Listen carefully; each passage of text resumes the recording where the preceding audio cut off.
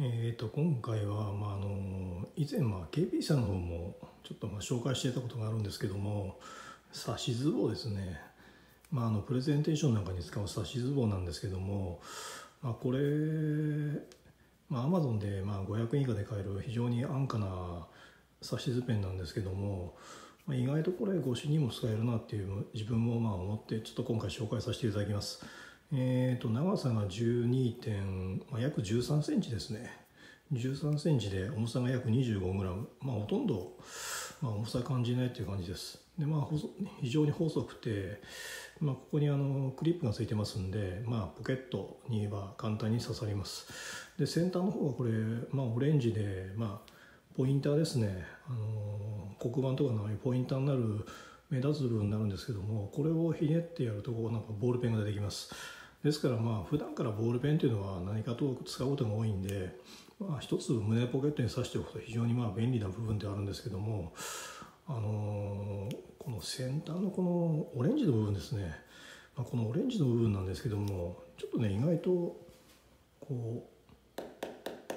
硬くて割と硬くてですね、まあ、久保タンのようにあの、まあ、使うこともできるかなって思いました。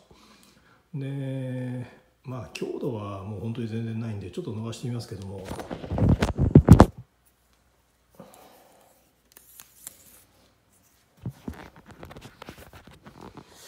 まあこんな感じですね。実際こうやってあのプレゼンなんかに使う指し図棒なんですけども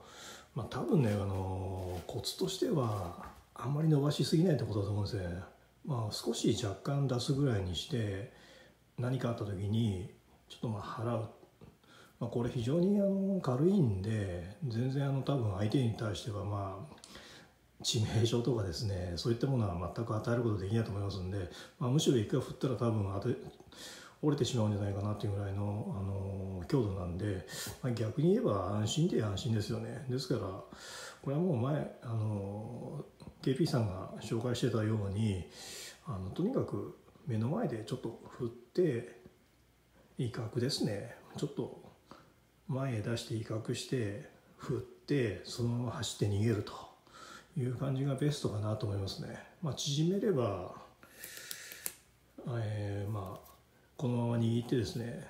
あの相手の手の甲とかあの頭の額とかに向かってゴンとやればかなり